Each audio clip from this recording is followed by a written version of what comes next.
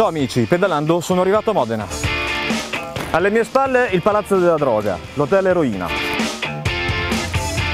Questo è il Parco 22 Aprile, la piazza principale dello spaccio in città.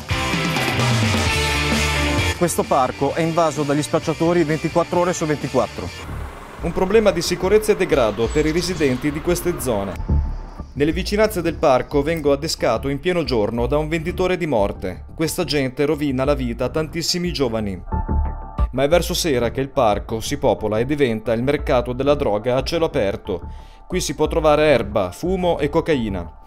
Chiedo dagli spacciatori come va l'attività, ma veniamo inseguiti. Quanto si spaccia in questo parco? Ebbene sì, anche a Modena abbiamo un fortissimo problema di spaccio. Ok, mi fermo qui, anche se potevo andare avanti per diversi minuti. Ovviamente quella che ho fatto è una ricostruzione, ma riavvolgo il nastro insieme a voi per analizzare come ho affrontato un argomento molto complesso. Ciao amici, pedalando sono arrivato a Modena.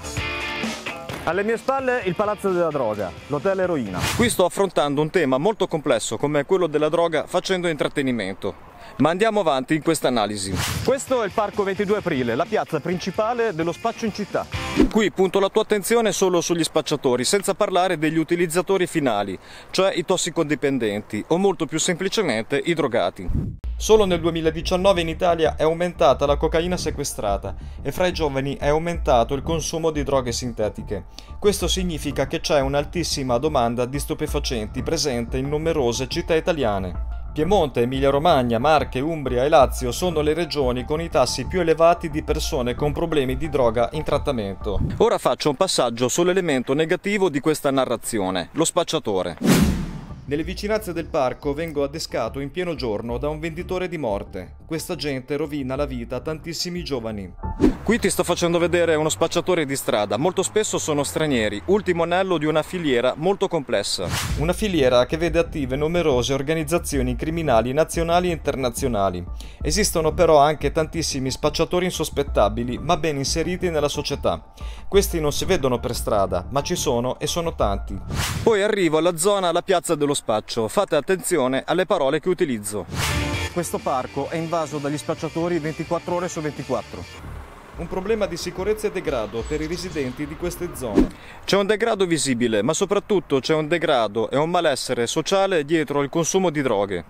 La relazione del Ministero dell'Interno spiega che i consumatori di cocaina coloridrato, cioè che sniffano la sostanza in polvere, sono maggiormente integrati nel tessuto sociale, mentre chi fuma la cocaina in forma di crack è un consumatore marginato.